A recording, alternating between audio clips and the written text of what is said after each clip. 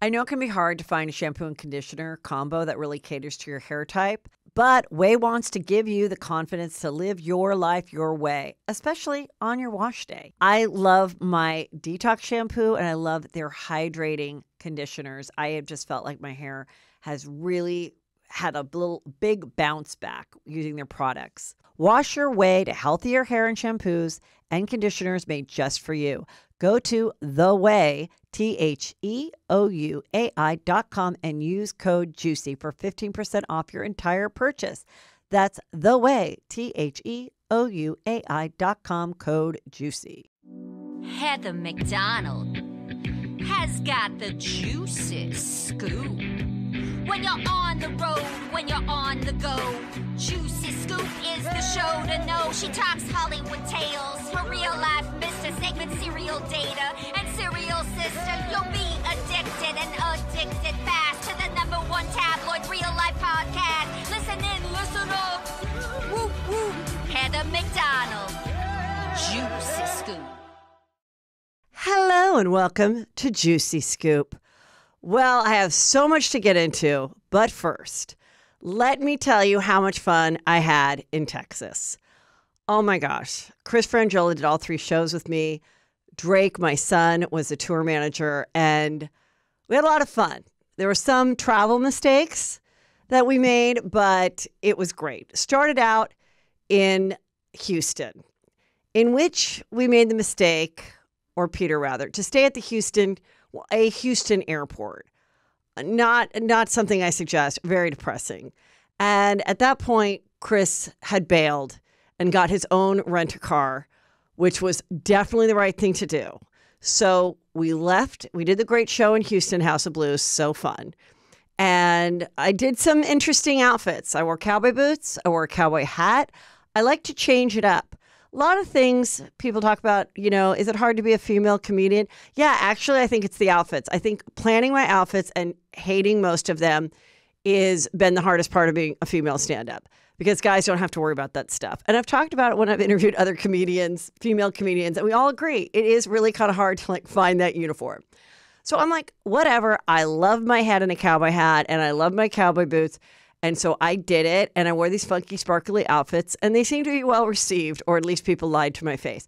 But the thing that was universal is that they loved the stand up and I've fallen back in love with doing stand up and I'm super excited to do my shows come this fall, which you go to heathermcdonald.net to get those. But so the next day, we were supposed to leave Houston and go to Dallas and stay at another hotel airport. That's when Chris just said, Goodbye. I've gotten to rent a car. I'm, I'm on my own.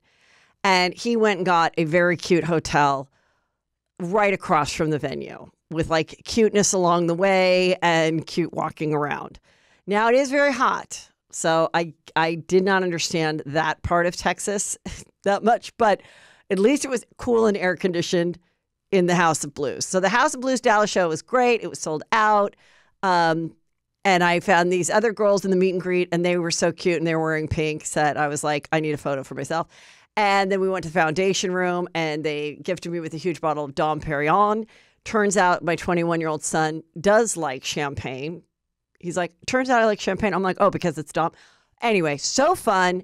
Had a great time. Then we, Chris is on his own. He gets in his car and he starts going down to Austin for the Saturday show. But Drake and I go 30 minutes back to the airport hotel, and then we get our room, and then we go. And it wasn't even convenient. By the way, it was not even convenient. It was like, I don't know why uh, Peter thought this was a good idea. It was not. From now on, I'm always going to stay right by the venue so that I can take your recommendations and get my cute coffee and my cute whatever and stay at a nice hotel. These hotels were nice, but I'm not a flight attendant. Okay. I'm not on a layover. I don't know what. I did see one interesting thing on a TikTok. There's a TWA, and they said it was JFK, and it, it this looks so cool.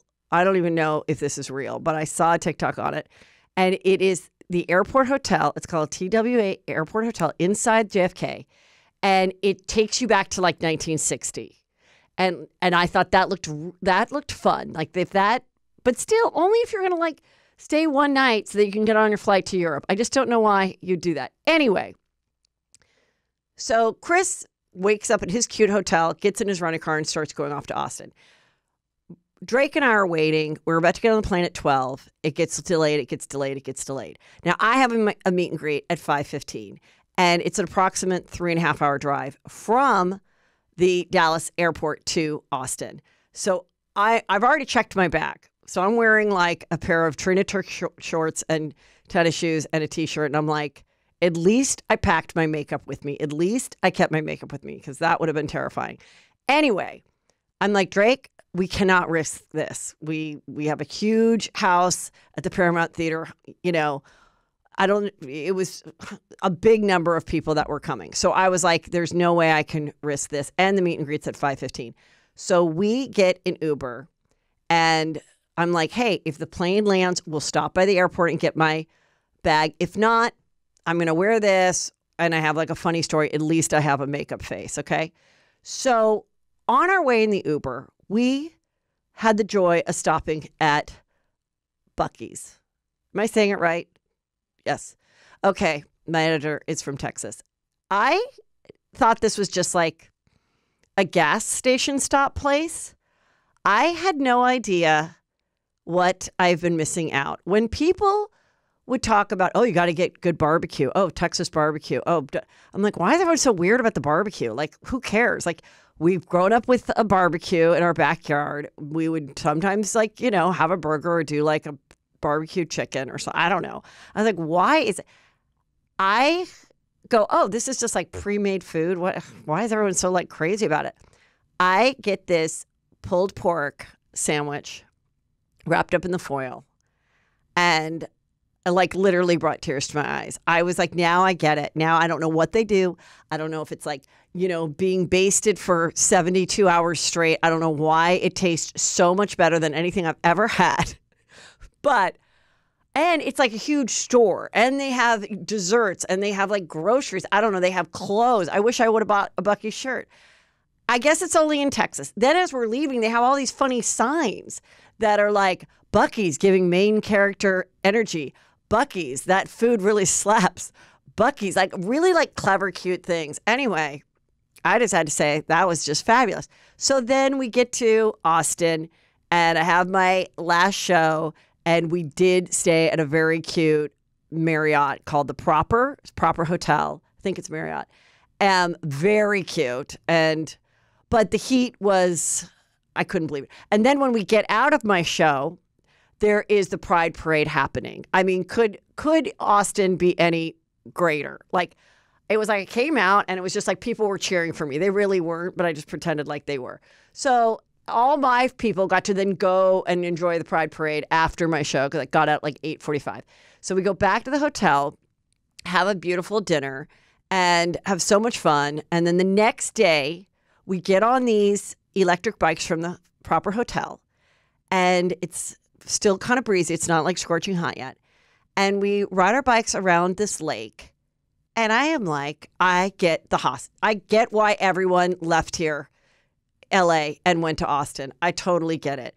Drake was like, everyone's a fitness model mom. Like everybody looked so happy and so healthy and like jogging and running around. And then there's all these like brand new, like very chic, um, like apartment buildings everywhere. I mean, I don't know. I was like, Drake, if you get a job or something and you have an opportunity to move to Austin, maybe you just want to do this as like a young person. Like, this is, it felt like a very young, hip, like delicious food town. So then we ride, and all of a sudden, I'm like, hear this music, and it's this like all inclusive, I don't know what kind of a Christian church. And they're like right in front of like where all the other like bars and stuff are but it's a Christian band like singing about Jesus. I'm like, hold on, stop. And I stopped. I'm like crying. I'm like, this has been the greatest weekend of my life. I just can't get enough of how cute this is. So, thank you, Texas. I'm glad you had a good time. I had a better time. The heat is something I, I couldn't understand how it never cooled at night. That was a little strange. Other than that, though, I think I think you're killing it, everybody in Texas. Um, killing it I, is an understatement for the greatest thing that happened in the 24 Summer Olympics, and that is the Australian breakdancer. I mean, when I fir- first it was I follow my friend comedian uh, Miss Pat, and she was the first person who posted this, and I'm like, what? This cannot be real. I'm like, wait, there's breakdancing in the Olympics, and this woman, she's Australian, she's wearing a green suit, and it is so it's so bad. Like the moves are so weird. So I'm like, I have to investigate. Like, how did she even get on the team? So she studied jazz and ballroom.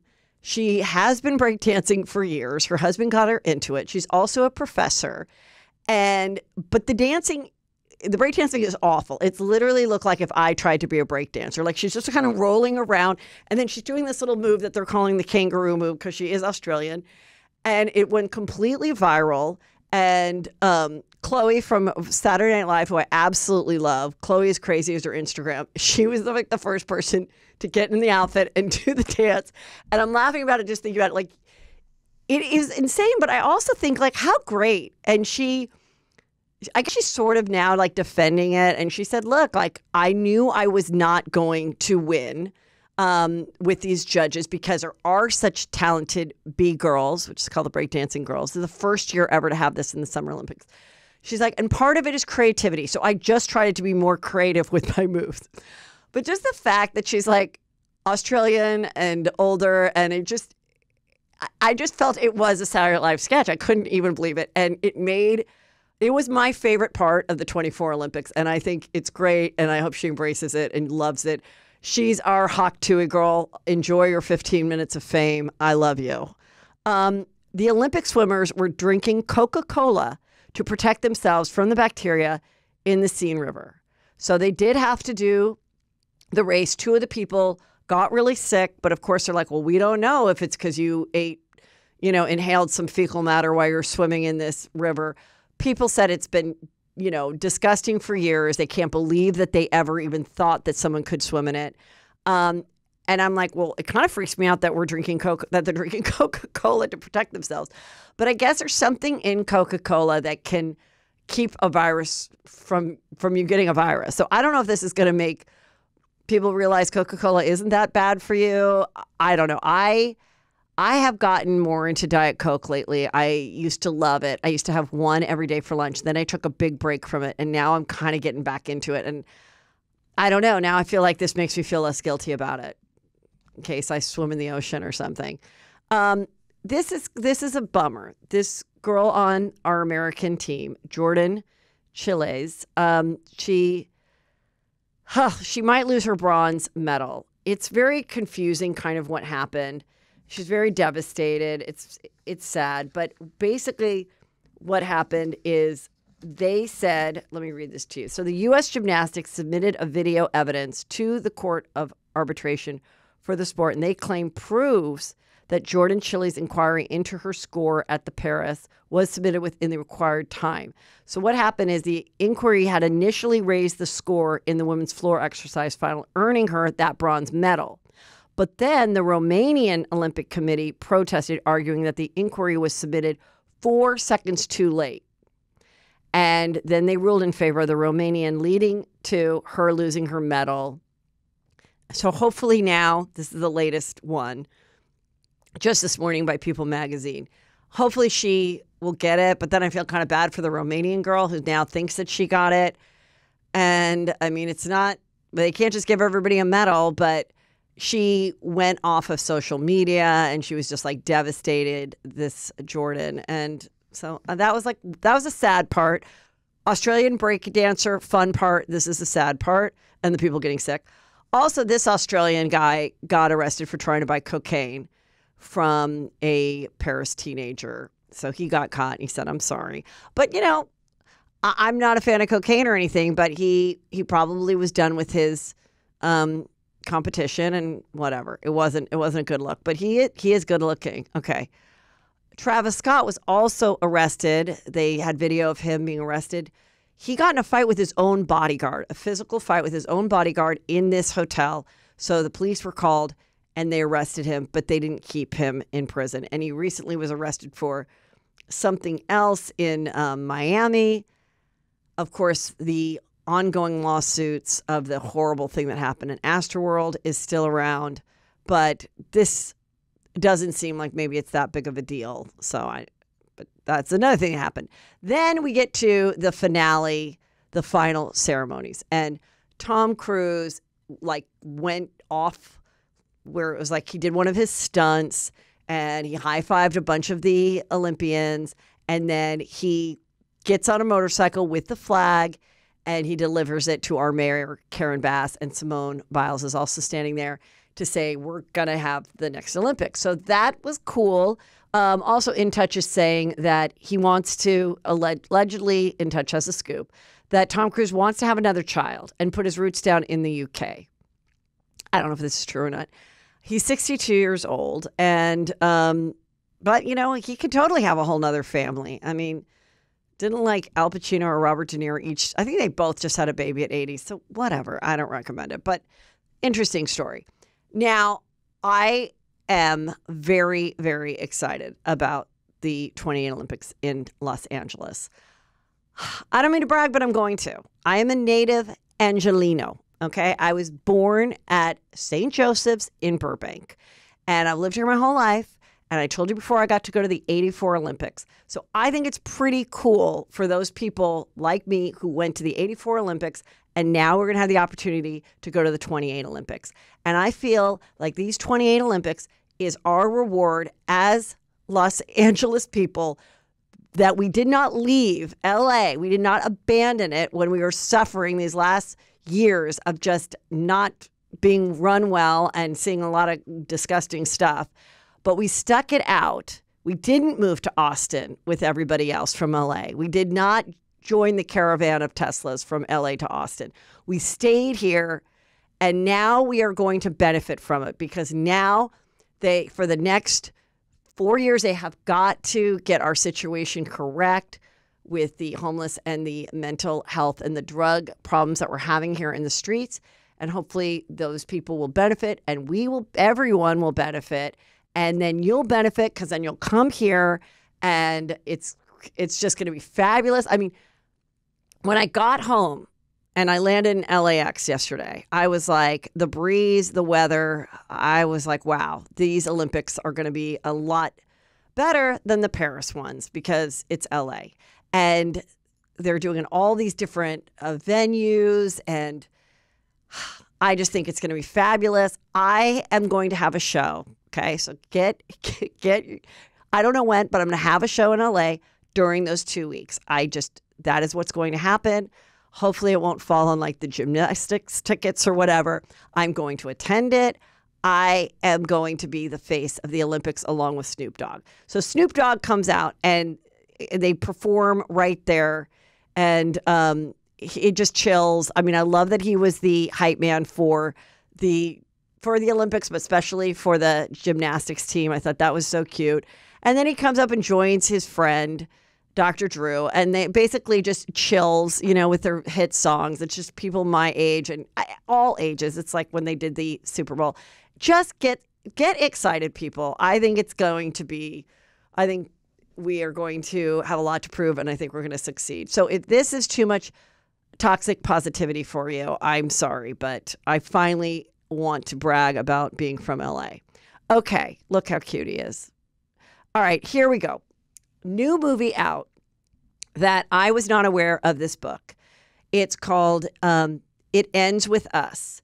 And there's a lot of a little controversy with it. It looks like it's very good. It was based on a hit hit book.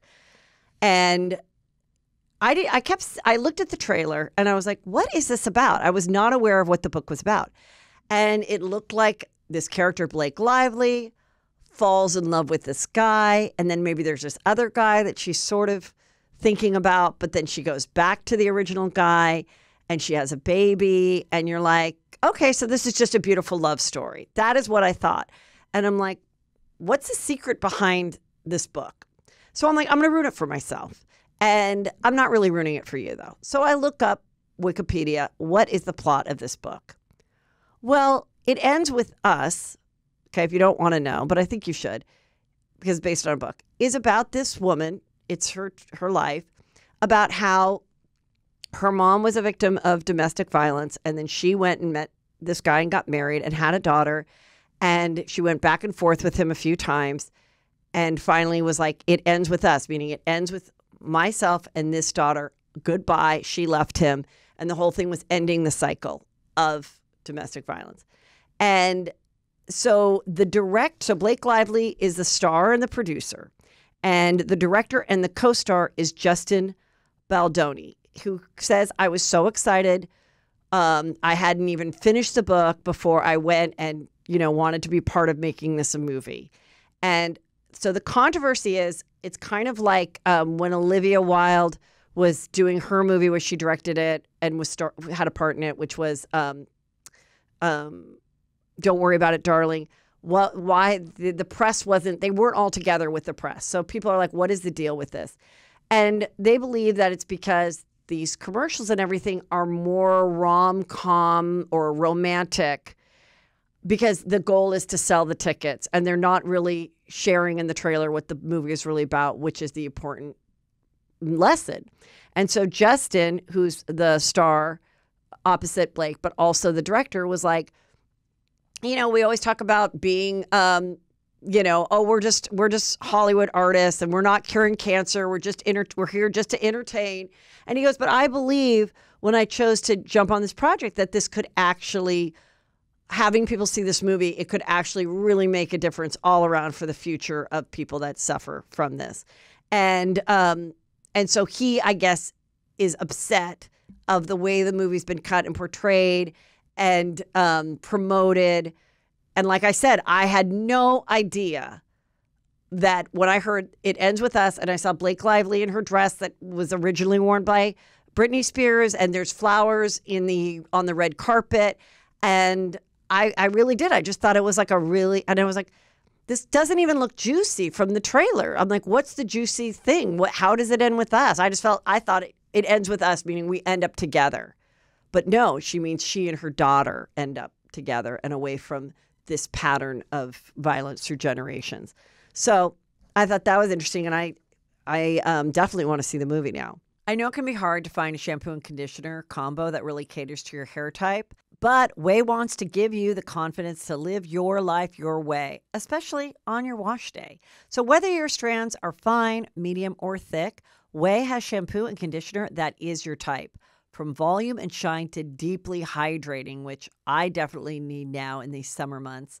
Ouai helps you find your way to good hair days every day. I love my detox shampoo and I love their hydrating conditioners. I have just felt like my hair has really had a little big bounce back using their products. I took the hair quiz. I found that my hair was dry and I got those Ouai products that really have helped nourish, and hydrate my hair. Wash your way to healthier hair and shampoos and conditioners made just for you. Go to the Ouai, T H E O U A I dot com and use code JUICY for 15% off your entire purchase.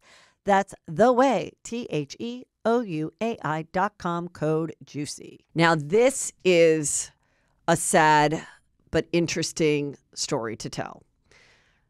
This influencer named Candice Miller is finally breaking her silence. This is very sad, but her real estate mogul husband, Brandon Miller, had ended his life, time on earth, um, himself. So this it's it's really a story, and it's so interesting because when this happens, and it happens with men sometimes where it seems to have a real reason why they chose to do this. And this one was financial. And I just think that's so heartbreaking when anybody doesn't see that this can't be fixed or whatever. The devastation of like, if this, if I can't continue to provide this life for myself and my family, then I'm worth nothing. So basically, they were this fabulous New York couple and with two cute kids, all attractive. He was in finance and real estate development. They had a $9 million house in New York. They had a Hamptons house they were renting.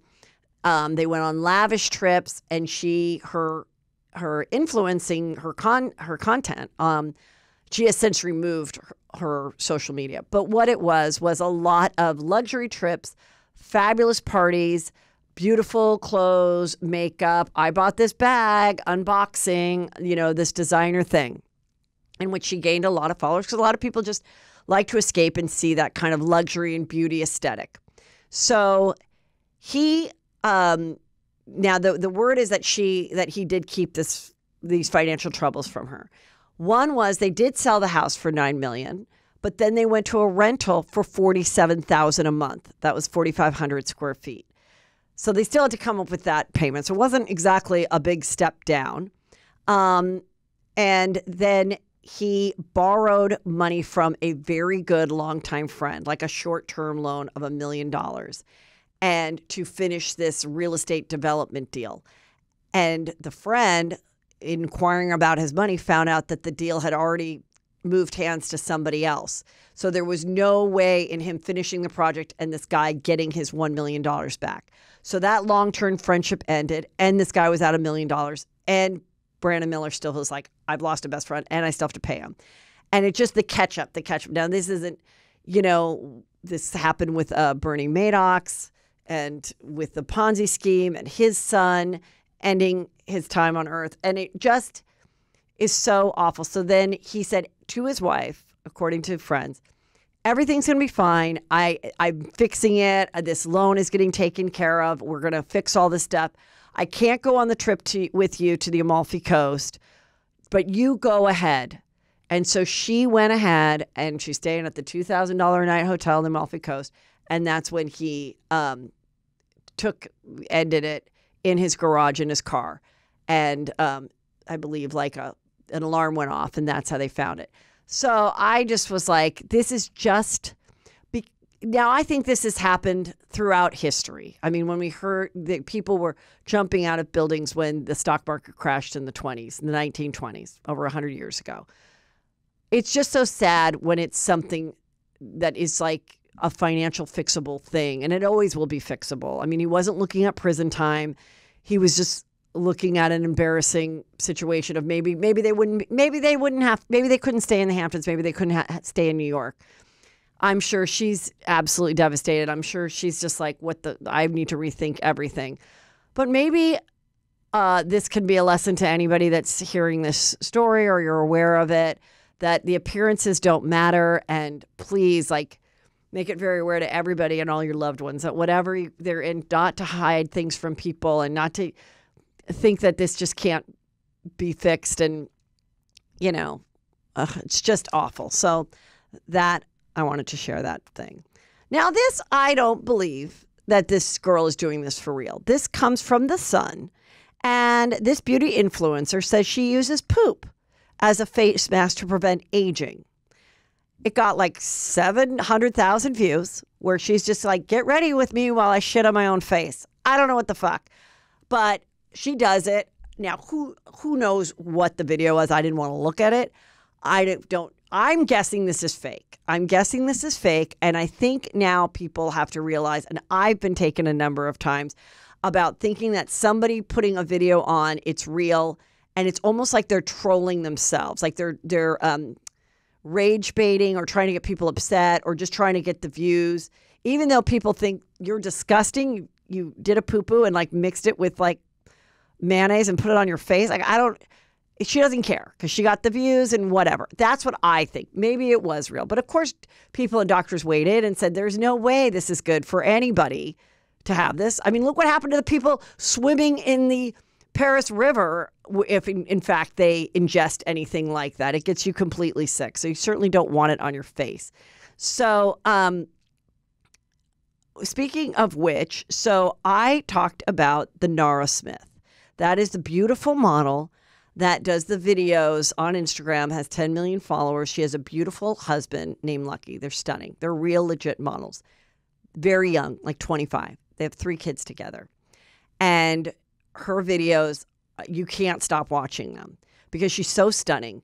And she, you know, gets in her beautiful outfit. She wears Chanel and this and that. And she says, Today my toddlers stumbled into my room and said they were craving cinnamon toast crunch cereal. I didn't feel like going to the store, so I made it from scratch. And then she shows you where it's lit and uh, she has every ingredient and how to make it. And I said, I believe that she has a team behind her. And I think this is a whole way to build a brand or just to get people, just to have a huge following on social media that can lead to other things because she is stunning and she does know her way around a kitchen, whether people are helping her or not.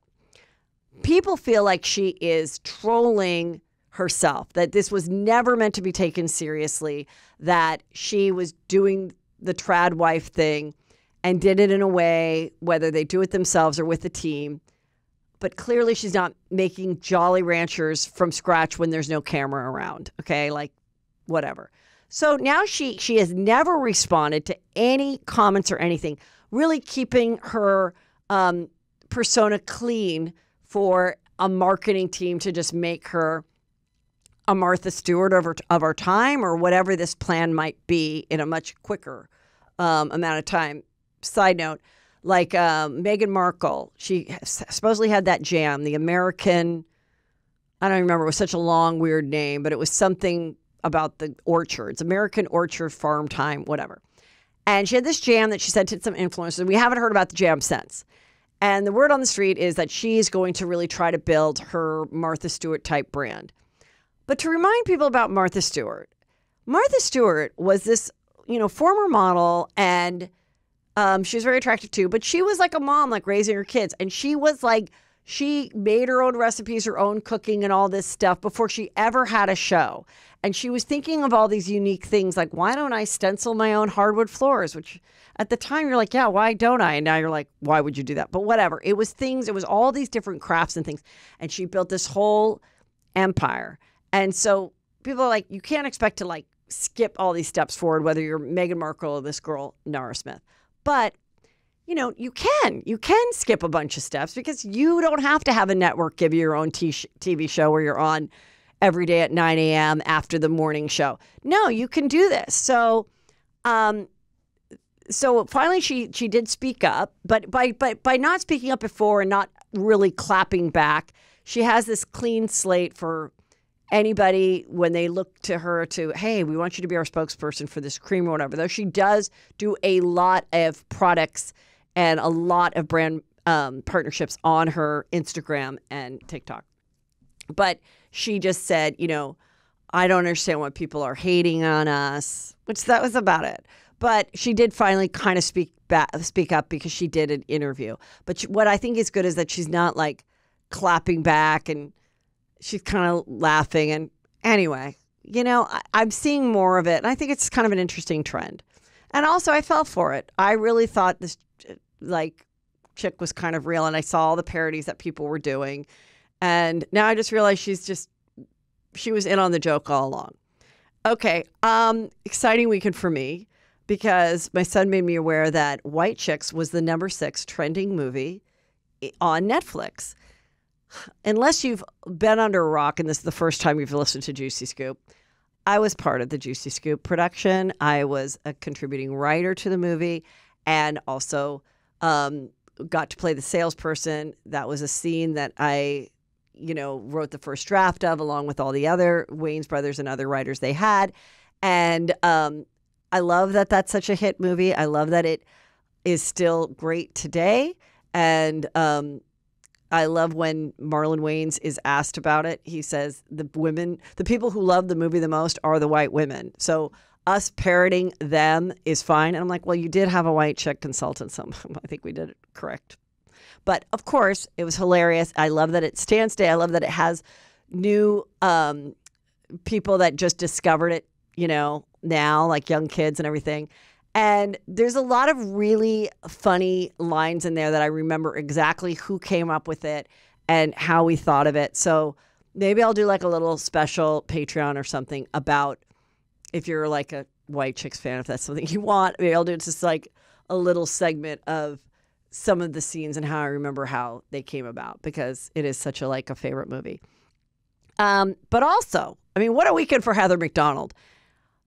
Uh, they this was sent to me Peacock, which you can watch all the Real Housewives back seasons.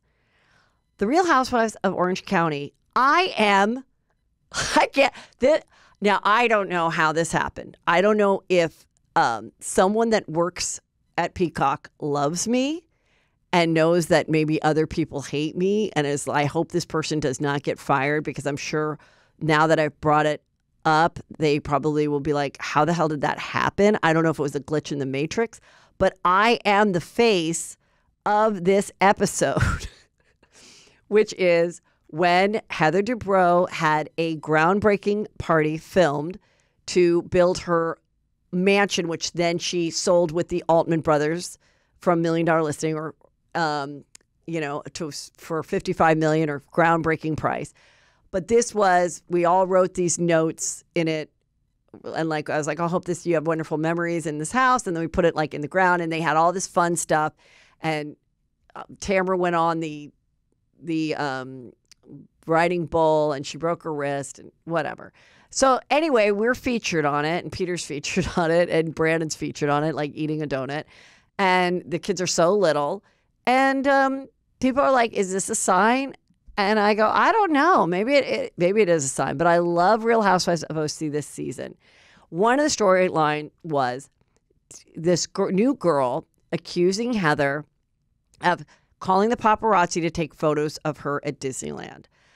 Now, um, because she denied it, is why Tamara and everybody was jumping on it. And then this girl goes, I know that you did. I, I texted this person who's in charge of the paparazzi. And I'm like, did she call them herself? And that person said yes. And it wasn't a lot of evidence to it, but I thought it was so great because on last on the last episode, she brings it up to Terry, and Terry goes, I actually love when paparazzis get photos of me. So I would like that number and I would like to call them more often so that I get to be in the news more often. And she laughs at him, and I totally believe it. And I thought that was the perfect way for just to like squash it. Because whether she has the number directly or her publicist does, or I, I truly believe there were other photos that I looked up and they're not super smiling. They're like talking and like not looking great. So I'm like, look, paparazzi goes to, um, I think it could be that she had them be called. And I also think it could be a random thing because um, the paparazzi does go to Disneyland. They they uh, I follow a couple accounts that are like celebs at Disneyland and stuff like that. They probably have a year-round pass and it's worth it for them to for a paparazzi to go and walk around and they probably have connections with some of the people working there that are like, "Hey, I'm a tour guide. I've got the Kardashians coming today, so we'll be at the Haunted Mansion around 1." And then that guy probably takes some photos, gets some photos of them, makes some money and gives a kickback to the person at Disneyland. Why would that be so unheard of that a person who works at Disneyland doesn't also have a friend who has a decent camera? I'm just saying. The point is, I thought Terry handled it great and I thought it was funny. Also, in the show, um, the main storyline that's really juicy is that Shannon Beador, who is divorced, who dated this guy named John Janssen for four years. And um, and the last thing that happened, which was not on camera, is that she got intoxicated. She got behind the wheel after arguing with him at his house because she had left her phone at this A's restaurant. And so she gets in her car and she is intoxicated and she loses control of the car and it hits a house and she parks it down the street and she gets out and she starts walking her dog. She probably realized, what the fuck? I was, you know, drunk. Who knows? The cops come. She is cooperative. She's worked with the attorney. She's taken the uh, responsibility. She's done everything she's supposed to do. And thank God nobody was hurt. So they start filming after this incident. And she has to address it. She has to talk about it. She has to cry about it. She's embarrassed, right? She has since broken up with this guy, John Janssen. And then he starts dating Alexis Bellino, who was on several seasons of the show, but a few years ago. She was married to her husband at the time. They got divorced. She then, I believe, met somebody else who was engaged to that person. That engagement didn't go through. I believe she was on a below deck. And she meets this John Janssen at a at the Quiet Woman and they hit it off and they fall in love. And so they want her back on the show, obviously. And she's like, sure, why not? I'm in love. I call him Johnny J now. I don't call him John Janssen. I call him Johnny J. And um, and I don't like that the narrative that was put out there among the other women in talking about Shannon's relationship is that Shannon told these other women off camera, like on phone calls or whatever, the bad things that went on with their relationship. And it's and when you're when you're venting for to your girlfriend, you you say things, you know, maybe you're exaggerating, maybe you're telling the truth, but she vented about the relationship. And because they had that information, several of them did not have a good um, perception of Johnny J. And was like, Good, I'm glad you broke up with him. And she's like, You know, he never paid for anything. I had to pay for when I was going to watch What Happens Live. I would pick up his extra, I'd pick up the plane ticket, whatever. Who knows what all that is about. And she complained, she said, I don't know if I could marry him because I don't know if he's wealthy enough. I need somebody that can like take care of me. And so that wasn't a great reflection on him. So then they get together um, and now she's on the show. And Alexis is like, I want people to like him. And I want people to know that he's not like that. He's barely drinking with me. And he's so lovely. And he's very generous. And she, it comes out that he had lent Shannon or given. Shannon said he gave it to me. Shannon said I needed um, 40,000 for a facelift and then I needed another 35 for a loan. He for for just living. Okay. So then she, I guess, thought it was a gift, or she's claiming. He always assumed it was a loan. Once they broke up, and Alexis is like, oh, well, you're not. You're not cheap and a deadbeat. You gave her all this money. This is what I'm assuming. You need to get that money back. So he gets an attorney and she gets sent with this letter and she's like, "Oh my god, okay, I'll pay you the money. Like I thought it was a gift because we were dating. I'll pay you the money. Let's, but let's not involve attorneys. And I'll give you the money, but you can never say a bad thing about me, and I can't say a bad thing about you. And at that point, I guess he said, I don't want to have any restrictions on what I can do or can't do if we're going to settle. I'd rather just go this way, get my money, and no one's going to restrict what I say or do because I believe he really, he's now, you know, now he's a public figure. He's with a public figure, his new girlfriend. She probably wants to stay on the show longer the show is about all of their relationships together, including Shannon Beador and whatnot. So he doesn't want to be silenced. So then Shannon Beador goes to her dad and she's like, What should I do? And he's like, Fight it, fight it to the end. So this is what we're watching. So then they go to dinner, and then Tamara, who was her very good friend, and Vicky. They were the Tres Amigas. We're the Tres Amigas. Da, da. And they did this routine and they had this show that was, you know, they would sell out the shows and they were going to go do all this stuff. And Tamara says, oh, Tamara says, I don't want to do the show anymore because it's called the Tres Amigas and it's about tequila shots and stuff. And I can't believe we have a show like in the next few weeks after this news of Shannon getting in this accident and everything. And they say you're you're out, Tamara. We're just going to be the Dos Amigos. So now we see them filming, and meanwhile, Tamara has become close to Alexis and Johnny J. And they go to dinner and it it was not. We saw the scene. Now this is for the cameras. We know Tamara is a vet. She knows what the producers want. She knows what the people at home, whether they say they want it or not, she knows what they want, and she it goes on the offensive because Shannon gets there and she orders um, a tequila, uh, no, sorry, a vodka and soda, and she just starts going off on her, saying, You're an alcoholic, like calling her out in front of all these people, in front of the cameras, in front of the world. You're an alcoholic. When you call me, you're drunk. And Shannon's like, Why are you doing this? You've been on this path of my alcoholism for 10 years. And she's like, Because you have. You've been an alcoholic for 10 years. You call me at night. You never ask about me. And I'm just sick of it. And you say you say these things about how awful John Janssen was to you.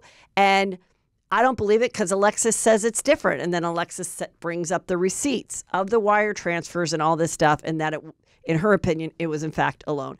And they're at this dinner, and everybody's like, um, so that's the show.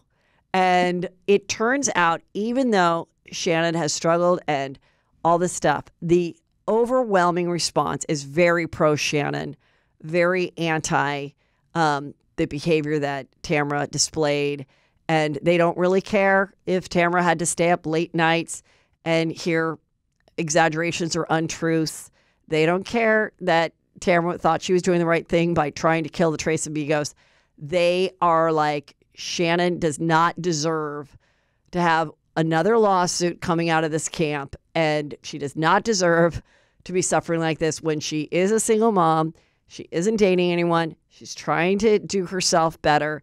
And it's just really interesting when, you know, kind of like with the Vanderpump, where I think you're in it and you're filming it and you think you're displaying your side of it and you're like, I think when this airs, Lala and Scheana, people are going to see their side and they're going to be tired of Ariana. And the same thing happened. It was like, no, we're team Ariana. It can be, it could be editing, but it also can just be you just you miss you just don't perceive right how these shows affect the audience that's listening. That's predominantly women, and we've all been through some shit.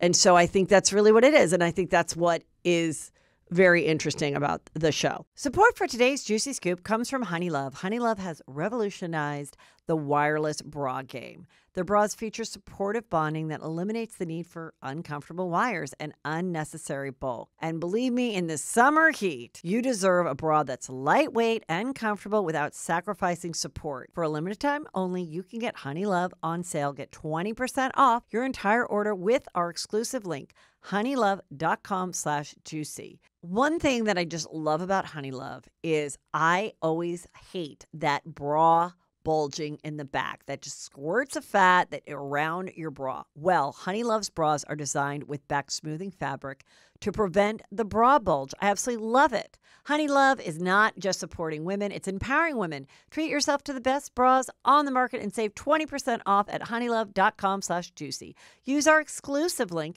to get 20% off. honeylove.com slash juicy to find your perfect fit. After you purchase, they'll ask you where you heard about them. Please support our show and tell them we sent you. Elevate your comfort, elevate your style with bras that empower your lifestyle of flexibility. Okay, now Real Housewives of New Jersey. They had this weird kind of reunion. They put the two girl, two groups of women in two different rooms, and they watched the last episode, which we covered last week, which was they're at a, at the same restaurant, they're eating, and it's all about how Teresa feels that her new husband Luis has been attacked, and people try to burst her love bubble. And it's like, why are you in a bubble though? Why why do you want what you want to put your head in the sand, be in a bubble? yeah, the bu- this is real life now, and he had several exes. Exes came forward. Exes reached out to other women, and on the cast and people, and was like, um, "You're you should you should know what your girlfriend Teresa's getting involved with. This guy is bad news, and I'm going to tell you, and I'm going to give you the information." She always perceived it as my castmates that interacted with these exes of Luis are my enemies, and therefore I hate them. And therefore, they tried to ruin my life by sharing stuff from his past. You're going on a reality show, it's going to come out. I just don't know why uh, uh, there more people aren't taking it as maybe I talked to them because I was like, what are you going to say? You know, how bad is it? Maybe after I talked to them, I realized it wasn't as bad. And that's why I never brought it up on camera or anybody else. I think that's so the, the interesting thing about it. But Luis doesn't help himself because Luis and, and Teresa have a podcast. And on their last episode that just came out a few days ago, they someone cut a clip from the show that was put online. I don't think they cut this clip. I don't think this would be the clip they cut. I think someone watched it, cut their own clip, and put it out. And it's him talking to Teresa, and he's saying like, "I love that the girls, her daughters, you know, it's like do it, live free, wear that thong, dance on a table at the club, show a little leg. You know, they all had thongs on in Greece, your daughters, and they looked hot. They looked great. I'm paraphrasing, paraphrasing, but that was it. And the fans of Bravo, whether they love or hate Teresa, all basically agreed this was really red flag behavior. Now, I don't know if he's going to try to say, I was saying, you know, I was agreeing with what Teresa had said in the past. Maybe Teresa had told the girls, wear a thong, dance on tables. I wish I didn't live such a conservative life in my 20s. Go have fun. And he was just like co signing on it, but it was coming out of his mouth, and people perceived it as like, those were the examples you used. You didn't say, hey, I tell the girls, go travel Europe on your own, go, you know, take that funky job. Choose the major that you, it maybe isn't the guarantee. That's what he could have said to say, live your life and take the risk that I didn't take. But they since have taken down the video or cut out that part of, of this show. That's what I've heard. Page six picked it up. They talked about it. Everyone talked about it. We see we come to the end of the show, and um, they're like, "Well, I guess this is it," you know. So on one, so this was so on one side it was Margaret, Melissa, um, Danielle, and um, Jen Fessler, and this and yeah, and this other girl, um, what is her name? Um, Rachel Fuda. Okay, so they're all, and at the very end, Rachel Fuda goes, and you guys, I'm pregnant. And then People Magazine shared the photo. She's pregnant with her third child with her husband, and she has a stepson who she's adopted. And I have to say, the way the girls, those girls that was in that room, in the other room, it was Jennifer Aydin, Jackie, Teresa, and Dolores. The girls that got that news, Melissa, Margaret, Danielle, Jen Fessler, and and then Rachel gave the news. I really felt that was a really joyous, honest moment where you're truly happy for your friend, you're truly surprised. And so after seeing that, kind of the thought is, why can't we have them, those girls, and then maybe two or three new housewives? I don't know, you know, um, because of all the the weird darkness, but that the podcast and everything is not was not good for Teresa and Luis, and that she just uh, wants to say, "Why would you say anything about him?" Da da da da da da da. This is hurting my family, and it's like, you know, I, I don't know what to say to all of it, but that's that's the juice, and that's why we're talking about it. And I don't know what's going to happen with New Jersey, but that is what I think would totally work, and maybe just give her something else or put her on pause. She's doing villains, Teresa. I don't know.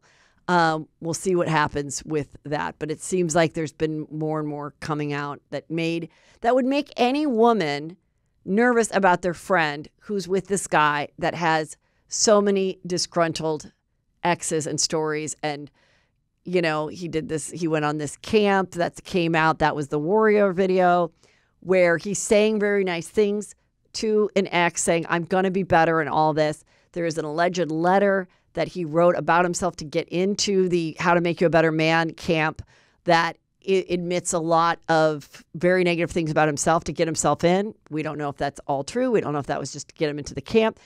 The other person and someone else would say, well, at least he was trying to better himself and it just didn't work out with that woman, but he still benefited from this warrior camp. Those videos got out and every people talk and it's just such a large audience now that's online and giving opinions whether it's like me on a podcast or whatever. And yeah they can't necessarily get off of social media either. They make a biz they make their living being on it as well and putting their daughters on it and selling products and sharing their vacations and doing all that. So it's a mess. Meanwhile jax of vanderpump rules he posted this cameo and saying, Hey, you know, um, if you'd like a cameo for me, that's great. And the money I make from Cameo goes to this cancer research that his dad had passed from that kind of cancer. Brittany, they've been separated for over five months. They are now filming The Valley. She posted that video and said, wrote on it, Jax real just realized Jax had this on his cameo and it's disgusting because he hadn't hasn't donated a dime for FYI at Cameo. People grabbed that. She took it down within an hour.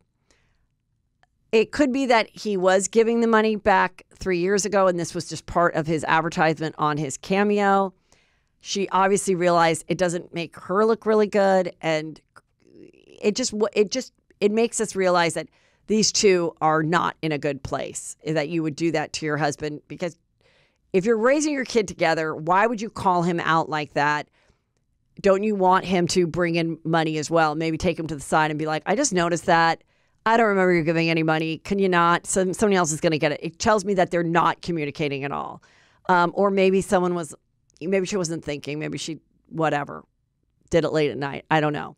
So there's the story there. Meanwhile, um, Vanderpump's Stassi, who has always been really well liked, except when she was canceled and kicked off the show, which that whole story you can look up. She is back. She, you know, she'd lost her book deal during that 2020 time. She got another book. She had another baby. She, you know, got married. She and her husband have now two kids. She continues with her podcast and she's just very well liked. She's, you know, very pretty. And she didn't let this that awful time in her life stop her. And she has a show on Hulu coming out that's a comedy docu series about her life, being funny, I guess, and some funny friends. And um, so who knows who are these other people that are going to be in her life? I assume she's kind of making her own Vanderpump Rules or her own Valley with people in her life about her life.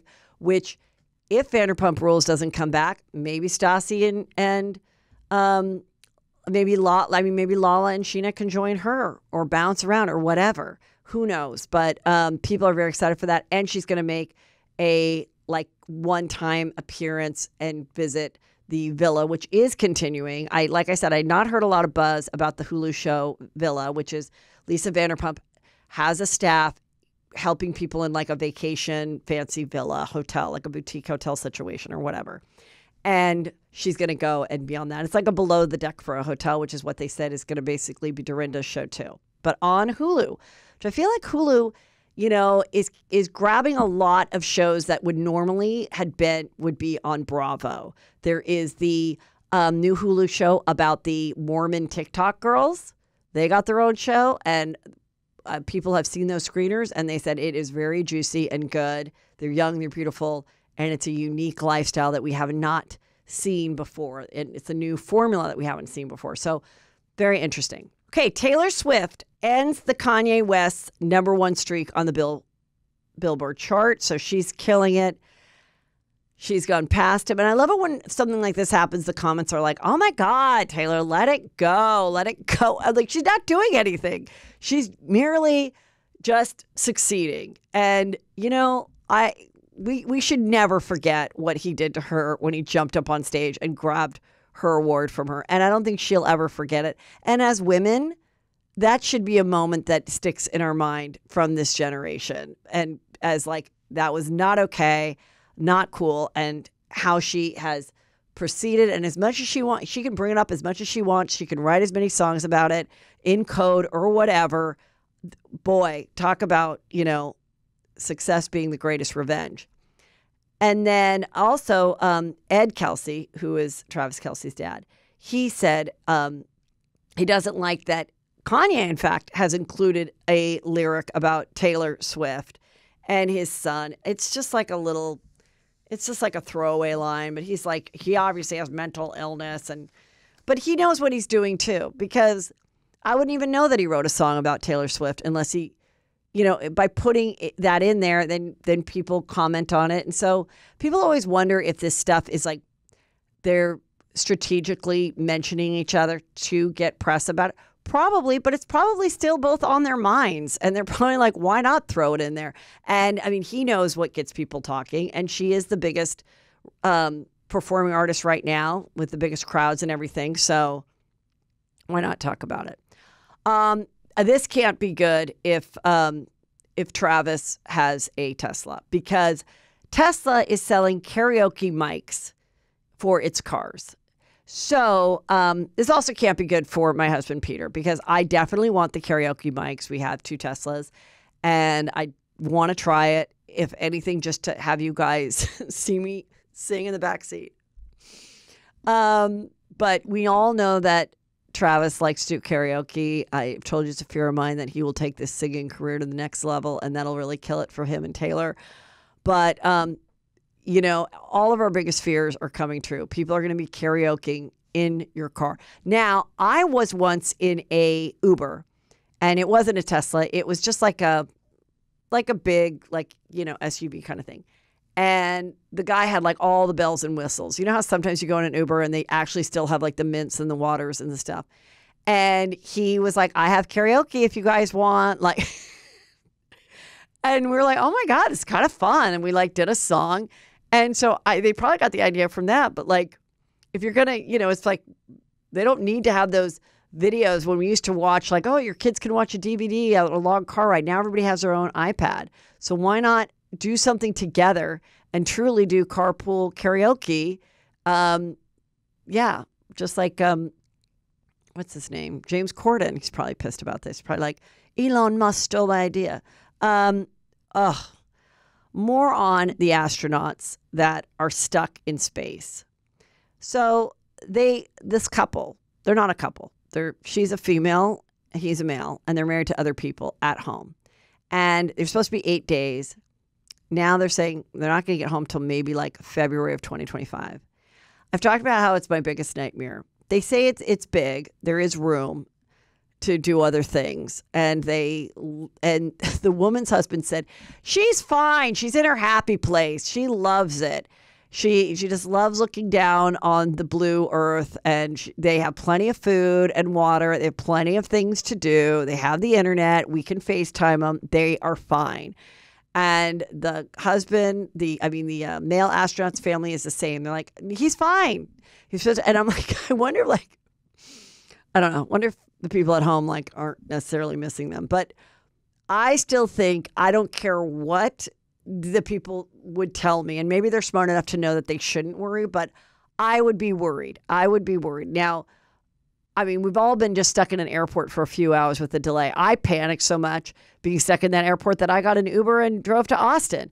But so this is why I'm not an astronaut and I never want to be one. But I'm I'm going to be following this this case. Like I, and then I definitely, I hope they definitely do a tell, at least a podcast. Tell me what went on. But I guess they're just like, no, it's not a problem. We're totally fine. Like we're we're happy the trip lasted this long. I don't know. I don't know if they don't have kids or what, but they're they they are not complaining or freaking out. There is a new thing in the dating world called hood fishing. It's what my parents used to call geographically undesirable, which means the person that you are thinking about dating just lives too freaking far away. And New York City on the apps, people will say, just like a catfish, maybe they, you know, use a different photo or lie about their age or whatever. They say, um, oh, I live in the city. And then once they start talking to them and liking them, then they want to make a date. And then the person reveals, like, well, actually, I live in Long Island or whatever. And it's an hour train ride. And then they're like, well, why did you basically lied so that I would think that you lived near me? And so you know these kid these kids trying to date just can't catch a break um, but you can also this is kind of fun there is a life-size polly pocket house and it's coming to an airbnb but it bring it's like a slumber party thing very cute for like a girls weekend a bachelorette party whatever i think this kind of stuff is really fun like going to more experienced nostalgic type of places um, like i mentioned earlier the airport that's like takes the airport hotel that takes you like to the 1960s going on an airplane experience back in the day. I would love to go to more weekend resorts that have a back in time experience. Now, I I kind of get that when I go to Palm Springs or you know, where I live La Quinta, there's a lot of like that kind of mid-century 1960s vibe, but it might be really fun to like more people to explore this or be like you're in a Barbie dream house or a Polly Pocket. I think that's like I think that's going to be a new thing. Also, I saw this on People magazine. You can get this two-story tiny home with six bedrooms and a side deck for only $80,000. And it's one of those tiny homes.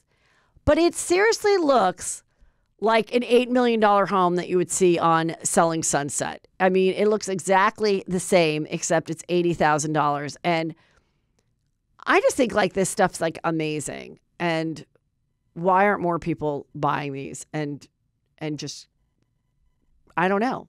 It's just very it's like why why wouldn't you get this for 80,000? Like where do I get this for 80,000? Can it fit in my backyard? That's incredible.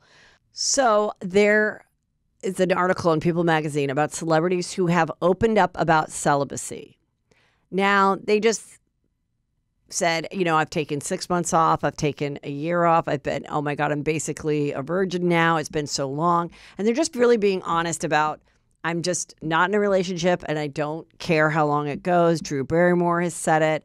She's like, I've been, I've been, a, I have been celibate since I became a single mom. And I just, I don't do it. The dating is so scary. Who should I date? Which kind of culotte should I wear? I don't know. I find it, I kind of find it uh, interesting, but I also find it great that uh, people are so honest about it because I would think, you know, everyone always wants to think there's something weird if you don't have sex. Well, this girl said she's a 33 year old virgin who is not religious. And this is why she didn't have sex. So she goes on to say, I'm 33 and I just, um, I just haven't been in a relationship. And I, you know, but now I'm kind of ready to. So I read the article and it turns out, sadly, her dad died when she was like 18, but she inherited a lot of money. And for the last like 12 years, she's just been traveling the world, having the time of her life and staying at beautiful places.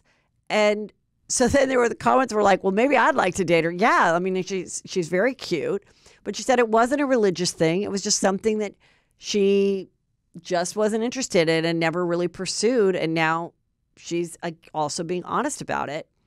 And I thought that that was, you know, based based on my book. If you're not aware, I've written a book called "You'll Never Blue Ball in This Town Again," and it is a New York Times bestseller, and it is about how I found myself still 27 and a virgin, and it wasn't a religious thing.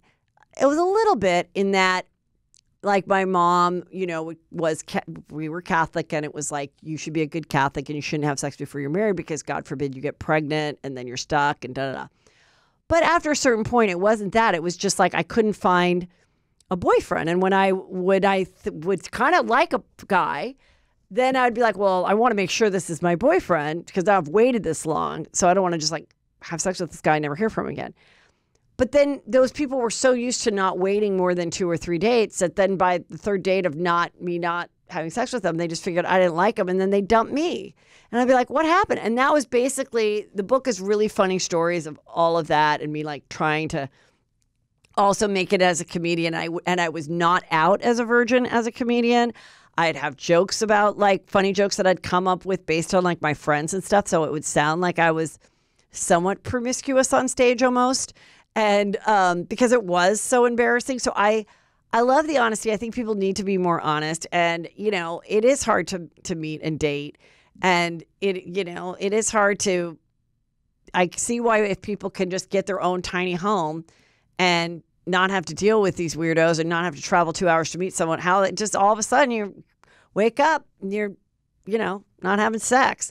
Um, this guy did get married and to his wife and then a five year old daughter. And then the wife is like, I'm dying to go on a European trip. And then he this is, and then he's like, well, then our, my mother in law just like invited herself, which I wasn't really thrilled about. And the wife booked the hotel and in which she was paying for, and they had two queen beds. So I guess he and the wife would sleep in one bed, not very romantic, and the grandma, mother in law, and the five year old sleep in another bed. And he said, I couldn't take it anymore this was like a TikTok or a Reddit or something. And he's like, I couldn't take it anymore because she was, the mother in law was using all my wife's expensive products. And um, and then the final straw was she used the tooth our toothpaste and just the thought of her toothbrush getting that close to my toothpaste, I finally just said I'm out of here. This isn't a fun trip for me. And he booked his flight home and was like goodbye. And then now the woman's screaming at him and furious and everything. And I thought, you know, the thing with that is I think that you just really have to be more vocal about your in laws and situations like that and a trip and how much time it, it's one thing to visit an in law and it's another to be like not only staying at their house but in their their bedroom. I think what it really comes down to is you really have to be more vocal about your in laws. I know people are always like my mother in law, my mother, my husband. Um, you know, a video recently came up and it was Bethenny Frankel reliving a time when she was married. And she was, you know, being really raw about the time. And I think she was mourning that loss of the fact that she was a really busy mom, which I talked about when her daughter was young and she had a talk show and this and that. But also, she realized like this marriage isn't working out with the husband.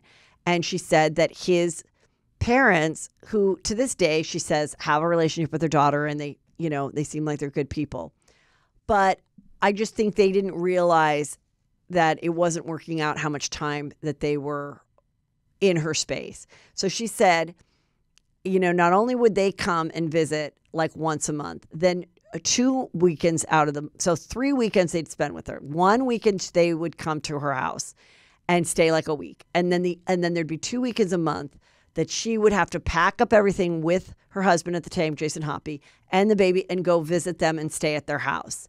And while she's doing this talk show and everything, and I think now she's just was in, unpacking. She did stop talking about it. I think maybe it was a legal reason, but this was kind of an interesting video that like went that was sent to me, and she's just kind of crying about it. And she was just like, and the comments were were like, look, they probably were really well meaning, and this was maybe going to be their only grandchild. And they were so excited, but and they think that they're being great hosts when you come but as like a grown woman you just want like your own space and you want your own you know and, and no matter how nice your in-laws are you need to know that your parents are not your partner's parents. They're not. And some people thought it was really weird that we bought a house next door to my parents and it was like right out of everyone loves raymond. But it really wasn't because they were like really you really want to live next to us they never stopped by unannounced, my parents. My mom would be like, call me on a Monday and be like, on Wednesday, would you like to come over for dinner? And I was always like, yeah, because she's like a really good cook and stuff. They never um, were just like, we just want to see the baby or whatever. It was more convenient for me. I'd be like, hey, can you know, can you watch Brandon or whatever for couple hours? Oh, okay. Or sometimes they'd be like, no, we're too tired. Like we're older and we're tired. We don't want. Go get a sitter. Like, and sometimes that would happen. And I just feel like people need to like communicate more with their in-laws early on. And I almost think that's why like um like when you have like those pre-marriage classes that sometimes church is required, that should be a real thing that you talk about. Like, you know, how off earthquake, earthquake.